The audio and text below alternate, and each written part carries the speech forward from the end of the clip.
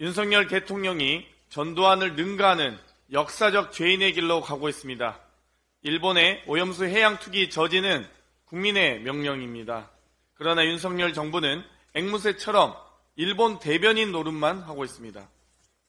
어제 저희 의원실에서 확인한 바에 따르면 문체부가 유튜브 광고에 굳이 1억 원을 더 사용하면서까지 예정된 날보다 추가하여 오염수 투기 전날까지 광고를 연장한 것으로 밝혀졌습니다. 문체부가 공개한 국가 주요 정책 광고 계획서엔 청와대 개방 1주년 특별 전시 1억 원, 국정 과제인 신성장 4.0 전략 5천만 원, 세계 잼버리 2억 9천만 원을 영상 광고 예산으로 잡았습니다. 그런데 오염수 안전 관련 영상 유튜브 광고는 10억 원이었습니다. 대통령실이 예산을 투입하여 광고비를 쏟아부으며 다른 국정 과제보다 10배에서 20배나 더 예산을 쓰며 신경을 쓴 것입니다. 후쿠시마 오염수 해양 투기가 윤석열 정부의 국정 과제입니까? 한덕수 국무총리는 정보와 과학을 믿어달라며 종교도 아니고 국민께 믿음을 강요했습니다. 일본의 오염수 투기를 방조한 정부와 일본이 제공한 과학을 믿어달라. 과연 이것이 대한민국 정부가 할 말입니까?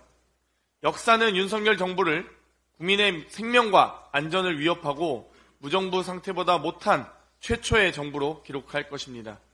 지금이라도 정신 차리시고 국민과 힘을 모아 일본에 강력하게 항의하십시오. 그렇지 않다면 전두환을 능가하는 역사의 죄인이 될 것입니다. 정부와 여당이 국제적 망신, 잼버리 사태에 대한 국회와 국민의 질의를 또다시 파행으로 만들었습니다. 지난 16일 국회 행안위 회의를 파행으로 만들었듯 오늘 여가위 회의도 파행으로 만들었습니다. 여당은 증인 협상과 관련해 반대하고 불참하고 이에 장단 맞추듯 장관도 불참하고 여가위 참여도 하지 않을 것으로 보입니다.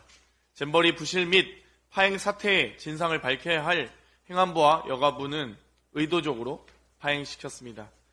안에서 새는 바가지 밖에서도 셉니다. 국제적 망신으로 국가 위상을 실추시킨 사태에 대해서 책임지기 싫다면 윤석열 정권과 집권 여당은 모두 여당 자격이 없습니다.